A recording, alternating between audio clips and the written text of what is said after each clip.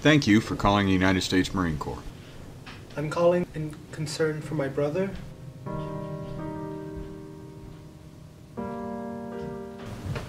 I, I haven't heard from the military yet.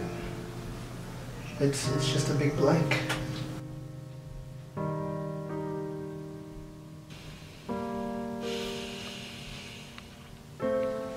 I want to talk to my brother.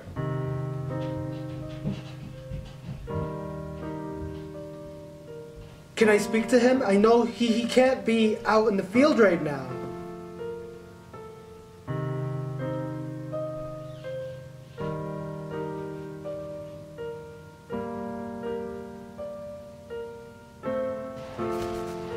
Hello?